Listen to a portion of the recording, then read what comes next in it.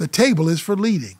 It's where you turn off the television, you put away the iPad, you turn off the phone, and uh, you spend time uh, leading, governing, praying, uh, correcting, finding out who they're hanging out with, what's happening at school, are they getting their housework done.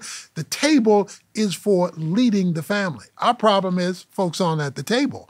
So roots are not being dug deep, and therefore the olive plants don't become olive trees.